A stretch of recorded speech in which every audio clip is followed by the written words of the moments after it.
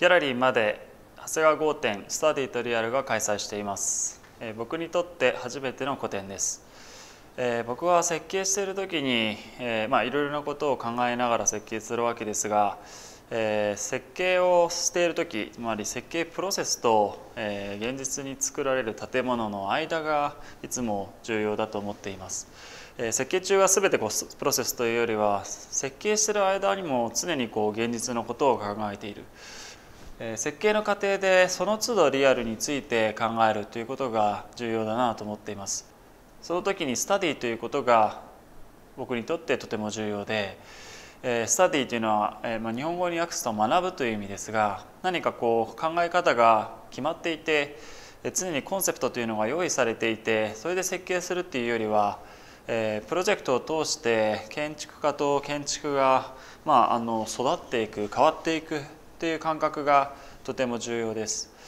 えー、設計しながらそのスタディしながらリアルを常に想定し想起し、えー、スタディとリアルが絶え間なく応答し合っているような、え、そういう状態を常に、え思い描きながら設計しています。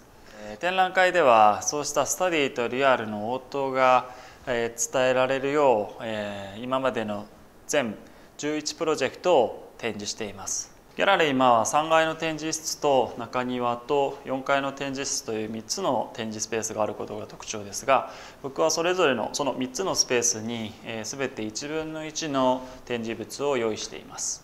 3階部分は桜台のテーブルという僕の初期のえ住宅があるんですけれどもその家の中にある4メートル角のテーブルを、え展示しています、え4メートル角で高さ72センチのテーブルがえ展示台としても使われている、まあえっと、展示台であり模型であり、まあ、これも一つの建築であるような、え会場構成になっています。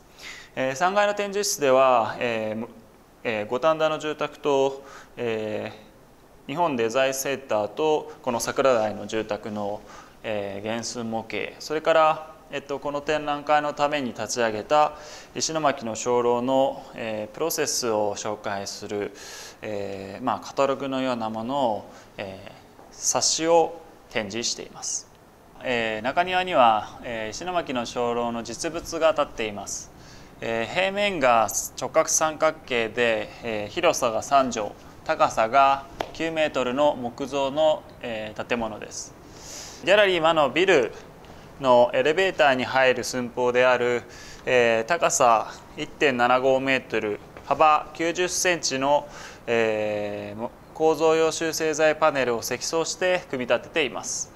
1階部分が地域の人たちやお母さんたちがくつろげる縁側2階部分が、えー、子どもたちが遊べる遊具3階より上が、えー、鐘楼のスペースになっています、